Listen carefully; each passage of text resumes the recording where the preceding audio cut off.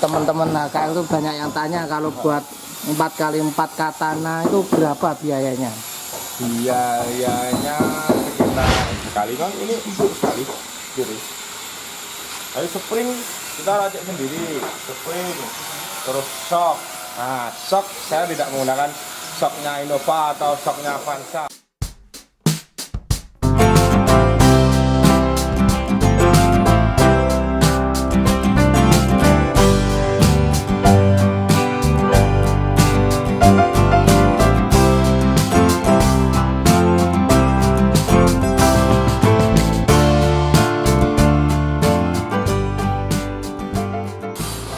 Halo teman-teman HKL 157 Ini depan kita ada mobil Katana Yang baru saja selesai upgrade 4 kali 4 Nah ini kan Katana kan ada dua versi guys. Ada yang 4 kali 4 nya bawaan pabrik Ada yang belum. Nah kalau yang udah 4 kali 4 itu Contohnya Katana yang dulu punya Pak Bos Heru yang warna merah Tapi udah laku dijual Nah ini yang contohnya yang 4 kali 4 nya belum. Ini baru saja selesai pengerjaan 4 kali 4 nya ini tahun 96 katanya 96 ini mobilnya standar. Ntar memang ini untuk mobil harian.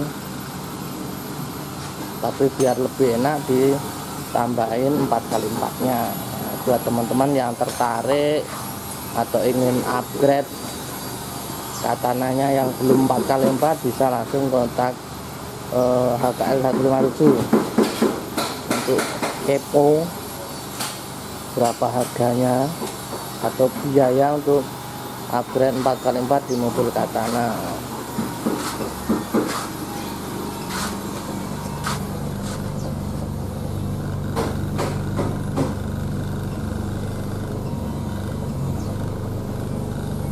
mobilnya benar-benar bersih.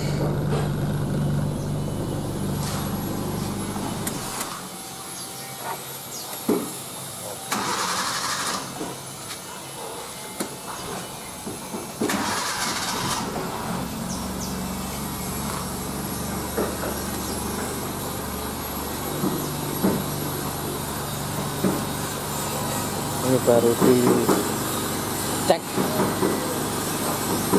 apakah ada yang bermasalah sebelum diserahkan ke customer AKR kalau untuk tugas pokoknya udah selesai yang membuat 4 kali 4 ya lagi. Ya. Cuma ini ngecek beberapa komponen biar nanti kalau sampai ke customer itu tidak mengecewakan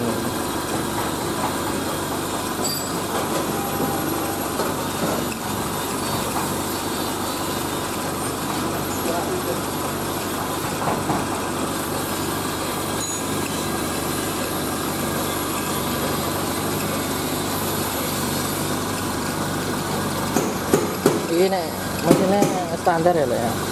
Standar. Orang ada dirubah. Halus standar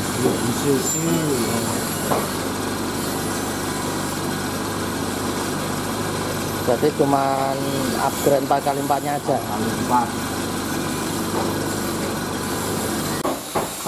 Halo Bos Heru. Siap. Ini teman-teman HKL itu banyak yang tanya kalau buat 4 kali 4 katana itu berapa biayanya? Biayanya sekitar berapa ya? Kurang lebih 12,5 juta. Karena transfer case-nya udah mahal.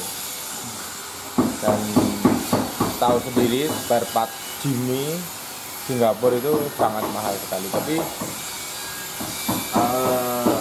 tetap ada cuman harganya mahal. Transfer ke itu sudah juta tujuh juta lima ratus. Kalau di sini di Asroja saya tidak pakai yang standar lagi. Tapi kita langsung pasang yang S lagi bisa splint 26 bisa splint 2 dua tergantung eh, customer permintaannya yang mana. Kalau yang yang gede ya yang 26 jadi lebih kuat lebih awet. Gitu saya responsif mengikuti customer ya. Ya kita kita fleksibel belajar permintaan customer seperti apa kita bikin customer ini ini eh, uh, tidak buat offroad tapi buat harian. Tapi tetap akroda kita bikinkan SHD ini katanya tahun 96 dalangnya bagus sekali. Ininya bos tolong catur di sana. Ini, ini spring juga kita udah ganti. Udah selesai nih. sudah selesai. Ini tinggal finishing finishing aja. Kita cek cek apa. Itu biar sempurna semua. Cuman bannya bang belum diganti bannya. Karena bannya masih pilih nah ini kan produknya Jadi untuk eh, next project ini trapez bikin kan trapez Oh, di trapez ini. ya terus untuk belakang untuk belakang ini. Sebenarnya ini bagus pintunya enggak apa-apa. Cuman dia minta yang eh, dari yang eh, keluaran Jepang sana jadi ada wipernya Hmm. biar tambah. Eh, stylenya tidak sekali. Kan ini empuk sekali jadi Tapi spring kita racik sendiri spring terus shock nah shock saya tidak menggunakan shocknya Innova atau shocknya Avanza Ini menggunakan Hah? saknya apa ini? ini shocknya belum saya set Oh. tapi ini enak enak enak, enak. daripada pakai shock Avanza atau shock Innova Reborn atau apa saya udah kemarin udah pasang ke ini hasilnya kurang maksimal Kurang memuaskan. ya kurang memuaskan tapi ini coba lihat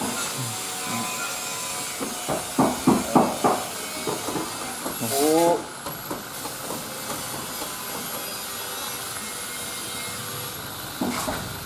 Oke, makasih. Bos Heru. oke bosku Nah, nanti buat teman-teman bisa langsung kontak admin HKL 157 untuk lebih detailnya. Untuk tadi apa shock yang digunakannya, tadi apa terus hal yang lain. Ini nanti tinggal coba dijalankan.